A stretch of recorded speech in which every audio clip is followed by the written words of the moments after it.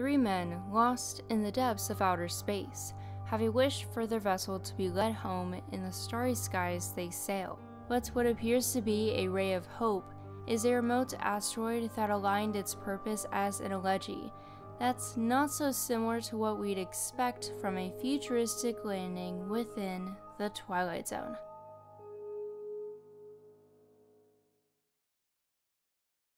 Elegy is definitely one of the more intriguing and spectacle-heavy premises that come out of the Twilight Zone, and one that I'd highly suggest listening to as intensely as you can when viewing this episode for yourself.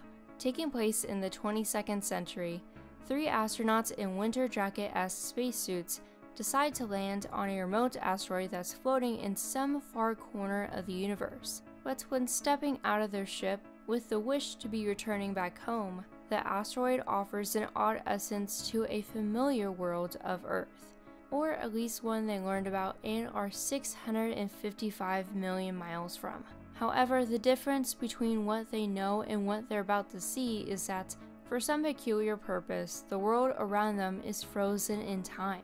In every scene they step through, they see the same thing people stationary as statues and seemingly, but maybe not, alive. It's a different world to say the least, and one where the answers aren't seen until the second half.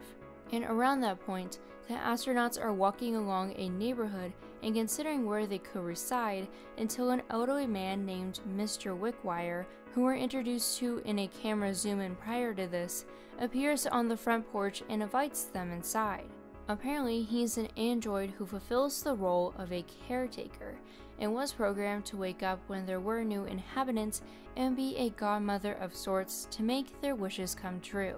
In a way, Wickwire preserves human culture via Happy Glades, as he calls this procedure, and was sent to reside there over 200 years earlier to ensure that those who've passed on are in their most happy state and aren't disturbed and the device he uses is a drink that the astronauts naively consume that makes them lose any control of their own selves.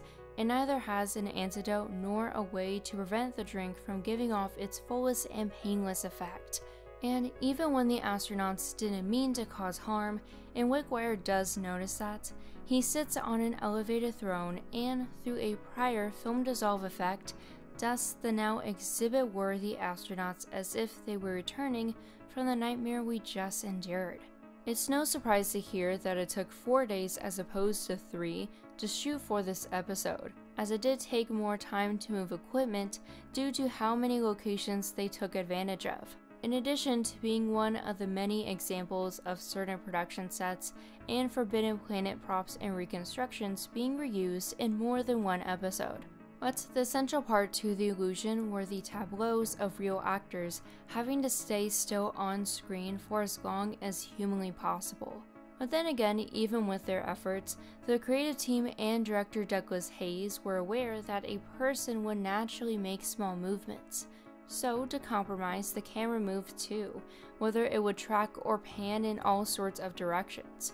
The episode itself did capture all three of the astronauts passing through a man's farmland, a man fishing by a river, and in the middle of an inauguration for a new mayor. And when separated, they did walk through a poker game in a downtown area, a couple dancing in their hotel room and that was backed by a mariachi band, and a tented area where a beauty pageant was being held and to me, it brought little awareness to how the feat was created for the camera and kept to its unsettling mood. All of our performers had their moment to absorb the scenery and later understood their purpose for being in each other's company.